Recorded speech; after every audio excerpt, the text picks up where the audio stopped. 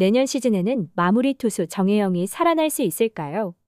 3년 연속 20세이브 달성에 성공한 기아 타이거즈 마무리 투수 정해영에 대해 기아 팬들은 아쉬움과 뿌듯함이 교차하는 시즌이었습니다. 2020 KBO 신인 드래프트 1차 지명으로 입단한 정해영은 2021 시즌부터 기아의 뒷문 단속을 책임지고 풀타임 마무리 첫해 34세이브를 기록하며 팀의 수호신으로서의 서막을 올렸습니다. 지난해에도 32세이브를 올리면서 역대 최연소이자 타이거즈 프랜차이즈 첫 2년 연속 30세이브 달성에 금자탑을 쌓았고 담대한 배짱과 뛰어난 구위가 만들어낸 결과물로서 인정받았는데요. 그런데 이런 정해영은 올 시즌 초반 갑작스럽게 불안한 모습을 노출했습니다.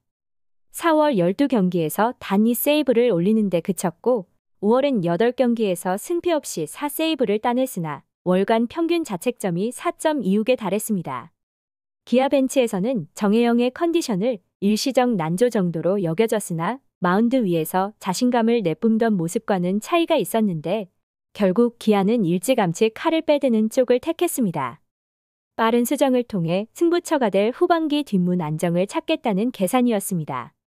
5월 29일 1군 말소된 정혜영은 한 달 넘는 재조정 기간을 거쳐 7월이 돼서야 복귀했고 전반기 24경기에서 7세이브를 올리는 데 그쳤던 정혜영은 후반기 25경기에서 14세이브를 따냈으며 드디어 3년 연속 20세이브 달성에 성공했습니다. 이에 김종국 감독은 정혜영이 최근 좋은 모습을 보여주고 있다며 최근 투구에 만족감을 드러냈는데요. 하지만 시즌 초반 성적이 좋았다면 30세이브도 가능했을 것이라며 사실 시즌 초반 30개 이상의 세이브는 기대하고 있었다고 털어놓았습니다.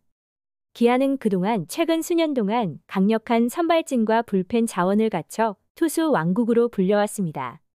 하지만 뒷문을 확실하게 책임질 수호신 타이틀을 가져가는 이는 찾기 어려웠는데 입단 2년차 시절 중책을 맡은 정해영은 빠르게 자리를 잡으면서 이젠 기아를 넘어 KBO 리그를 대표하는 마무리 투수 중 한 명으로 성장했습니다.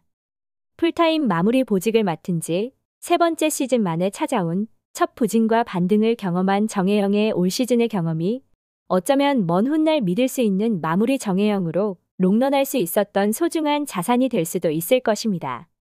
시청해주셔서 감사합니다.